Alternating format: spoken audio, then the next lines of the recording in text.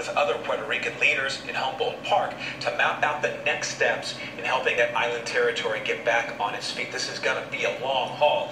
The effort will include finding homes in Chicago for families evacuated due to the devastation and the slow recovery.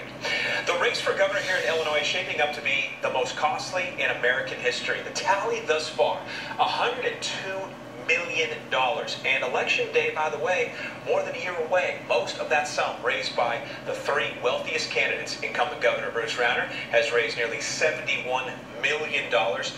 And by the way, two thirds of that from his own pocket. Democrat J.B. Pritzker has a $28 million war chest, all of that his own money. And Chris Kennedy has raised almost $3.5 million. Wow. Well, the two